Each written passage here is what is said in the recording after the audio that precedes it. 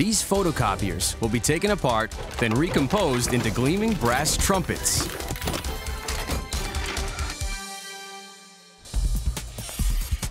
Sims disassembles, chops, and shreds the photocopiers to mine the copper inside.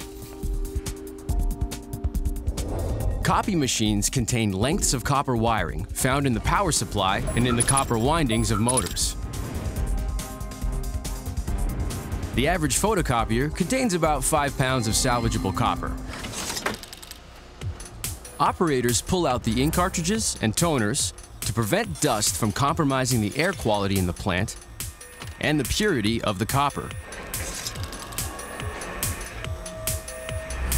A forklift loads the copiers onto a heavy-duty conveyor. The copiers travel through a series of shredders and sorting stations that rip and shear the machines into bits of metal and plastic.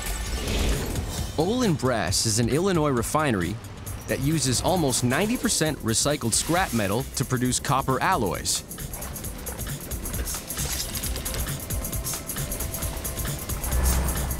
A foundry worker mixes 70% recovered copper and 30% zinc, the formula for making yellow brass and the standard for most brass instruments.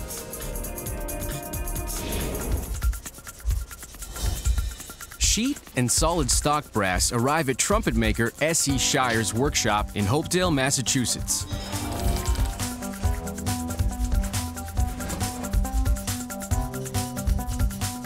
A craftsman traces the shape of the bell on a brass sheet and cuts it out with electric shears. Then he folds the sheet in half over a form. He applies a brass alloy to bond the edges of the fold, forming the bell blank. An impact machine forms the bell.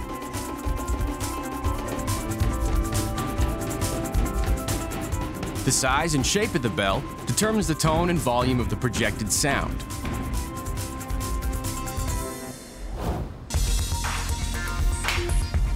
The craftsman mounts the bell on a lathe. He uses a spinning tool to round out the shape.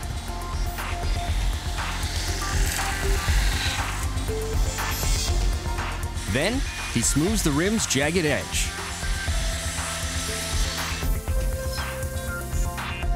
He places the bell on a bending block and curves the tube.